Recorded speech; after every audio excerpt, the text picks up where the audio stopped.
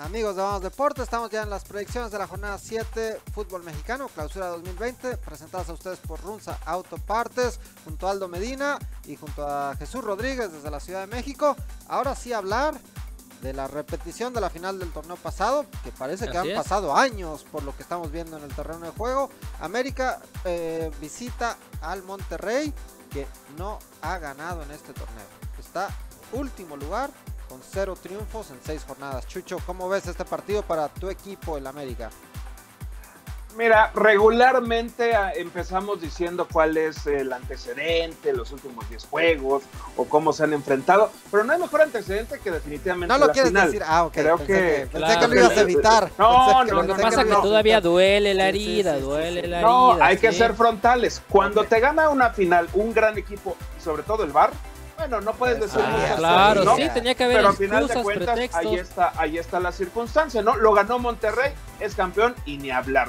Aquí en América no se andan con que lloriqueos y voy a hacer cartitas y voy a tirarle a los comentaristas que no están a favor. No, aquí en América se aguantan y se fletan y definitivamente creo que es un partido que sí, como bien lo dices Luis, en, en diciembre andaban este, Pizarro con su medalla y andaba tomándose las fotos para el Instagram.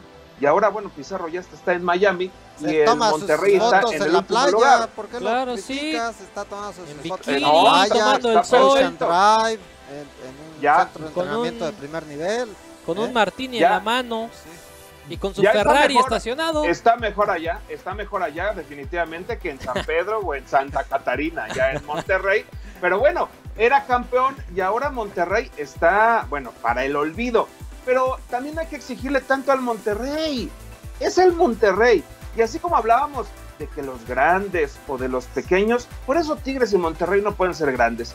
Monterrey no tiene ninguna obligación, ya fue campeón, va a estar cuatro o cinco torneos sin calificar o siendo medianito, ya no importa, a final de cuentas ya lo vivieron y eso se lo dejan a otros equipos. Por eso se dividen en dos tipos, en los grandes y en los pequeñitos o en los que son los que sobran.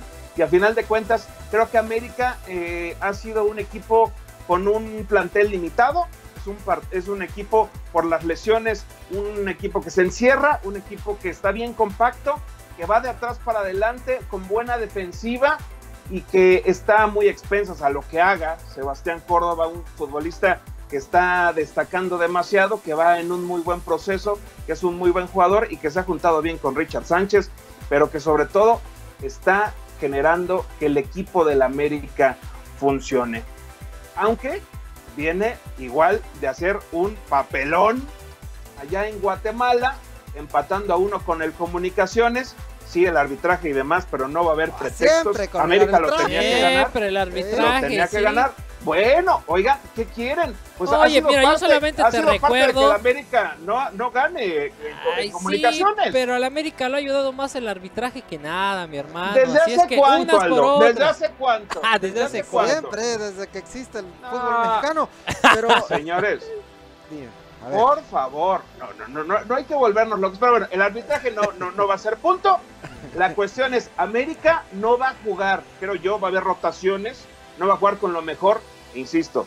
Desde que tiene tantos jóvenes en la banca, hablamos de que América ya trae un, equipo cortito, pero es buen momento para empezar a darle oportunidad a estos chavos de sub-20, a estos jóvenes mexicanos que se quieren ganar un puesto en el equipo titular va a campechanearle tres partidos en una semana, no es sencillo, así que yo la verdad creo que Miguel Herrera se va a encerrar completamente eh, en Monterrey, va a que 0-0, por ahí algún contragolpe, un golecito, veríamos desde mi punto de vista un partido medio aburridón y yo me iría con el empate yo siempre te acusé de ser americanista, algo, la verdad. No, pero, no. Ya escuchamos ahora sí a un americanista de no, no, ya solamente le sacó ponerse la playera. No se lo merece Aldo. Aldo Saca la bandera. Aldo defendía la América, hablaba bien de la América, pero, pero no, no estaba tan ciego en esta, en esta, este, ¿eh? no, nada más está, como, ciego. ahora sí déjame escuchar una, una opinión un poquito menos más Sí, más neutral, no más, neutral. mira, a ver, a ver cómo va el partido. Mira, de todo eh, el choro que nos aventó Jesús, que es muy bueno, que me encantó. Mira, es verdad, uno, la defensa, la mejor defensa del torneo, solamente cuatro goles recibidos. Y lo que está haciendo tanto Richard Sánchez como Córdoba, y le sumamos también a Federico Viñas, ambos 21, 22 y 23 años respectivamente, pues le está dando esa juventud que hace tiempo no veíamos en las Águilas del América. Creo que el trabajo en la dirección técnica del Piojo Herrera, parchando ahí las lesiones, las bajas, no ha podido contar al 100% a veces con Giovanni Dos Santos, que a veces se lesiona a Henry Martín, lo que pasó con los dos Nicolases, este, con Nico Castillo, con Benedetti. Pues ahí va el piojo, jornada a jornada, y, es sorprendente que a pesar de todos estos movimientos, estas lesiones, pues el día de hoy es segundo lugar general con, con 13 puntos. El torneo pasado fue lo mismo y, llegó, y llevó al América hasta la final. Creo que un gran trabajo. Para mí va a ser un partido atractivo, aunque el Monterrey no ande ganando en la Liga MX. Consiguió su pase en la Copa MX a las semifinales, ha ganado todos sus partidos en Copa MX. Para mí va a ser un partido de goles, de emociones, atractivo y va a ser la primera victoria de los Rayados en este torneo. Sí, yo creo que el América hay que darle ese respeto, ¿no? Y lo, dijiste, Chucho, lo vas a decir siempre lo dijiste hasta con una sonrisa y el orgullo se te notaba. Besándole la mano casi casi ahí. Que es un equipo grande. A baños. Que, es un equipo grande y lo está demostrando porque sí, la cantidad de ausencias, el plantel reducido y sin embargo están ahí. O sea, llegaron a la final del torneo pasado, están en segundo lugar en ese torneo, no meten goles, eh, pero encuentran la manera de ganar. E, es, lo que hace el América. Eh, encuentra las excusas las tienen porque no, han parado de hablar del arbitraje desde hace cuatro meses, pero en general el equipo se planta y busca el triunfo a pesar de tener un plantel reducido. Yo en esta ocasión creo que el Monterrey eh, ya escucharon a su técnico Mohamed, ya salió a decir, esta es nuestra última posibilidad de, de tratar de buscar un pase a la liguilla, necesitamos los tres puntos, saben la urgencia que tienen se van a apoyar de su público. Creo que tienen la, la confianza en poder haber derrotado este equipo hace un par de meses.